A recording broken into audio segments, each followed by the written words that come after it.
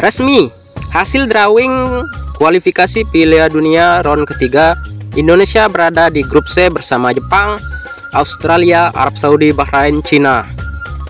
Untuk prediksi, Indonesia bakal sulit untuk mengatasi perlawanan Jepang, Australia, dan Arab Saudi. Indonesia bisa menang jika berusaha dan bermain maksimal melawan Bahrain dan Cina. Itu pun Indonesia harus bermain benar-benar.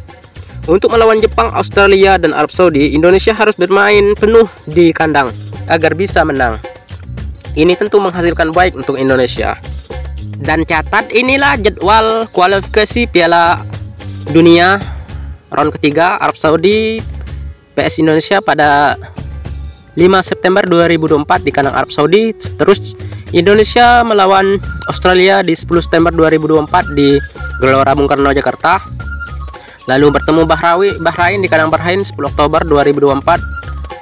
Bertemu Cina di kandang Cina di 15 Oktober 2024. Terus Indonesia bermain di kandang sendiri di GBK melawan Jepang pada 14 November 2024. Seterusnya Indonesia akan melawan Arab Saudi di 19 November 2024. Di tahun depan Australia bertemu Indonesia di kandang Australia 20 Maret 2025 Seterusnya Indonesia menjamu Bahrain di 25 Maret tahun 2025.